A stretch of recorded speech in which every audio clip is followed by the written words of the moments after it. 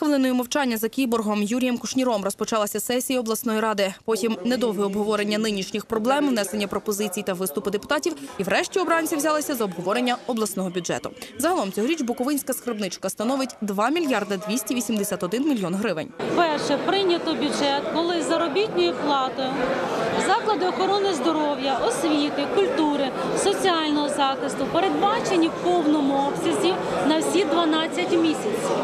Зазвичай кожний рік ми протягом року мали таку проблему і виділяли додатково кошти. Передбачені в цьому бюджеті кошти і на необхідні медикаменти, продовження будівництва перинатального центру і дитячого реабілітаційного центру та на всі соціальні виплати. Щоправда, нові зміни у формуванні бюджету не тішать багатьох керівників районів, сільських та селищних голів. Дефіцит при прийнятті районного бюджету 13 мільйонів гривень.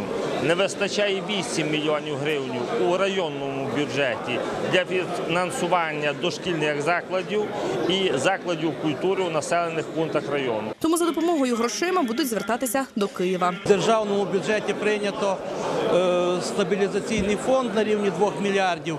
Е, В цьому році е, покрити ці розриви за рахунок е, стабілізаційного фонду. Фінансисти погоджуються, самодостатньо у Чернівецькій області лише половину сіл. На території області із 252 сільських рад самодостатніми є лише згідно бюджетних показників 114, решта 138 або 54,8% від загальної кількості на сьогодні є депресивними і не зможуть за рахунок власних надходжень забезпечити утримання навіть апарату. І відповідні листи з проханням допомоги вони вже надіслали уряду та народним депутатам.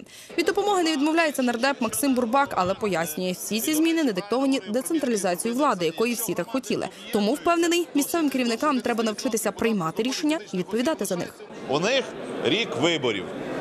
Ніхто не хоче приймати непопулярні рішення. Ніхто не хоче вводити податок на нерухомість, а це повноваження місцевої ради від нуля до двох. Можете взагалі його не вводити, але з чого ви тоді будете жити? Три роки поспіль е, податок на землю справляється в місцевий бюджет.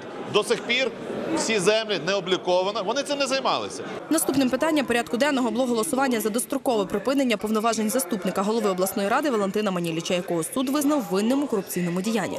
Депутати голосували таємно. В підсумку з 78 присутніх депутатів 52 за звільнення, 21 проти. П'ять бюлетенів визнали недійсними. Зважаючи, що всього в раді 104 депутати, аби звільнити Валентина Маніліча, депутатам не вистачило одного голосу.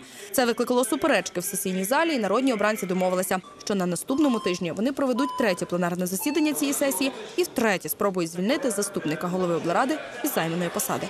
Людмила Григорчук, Михайло Антонюк. Місцевий час.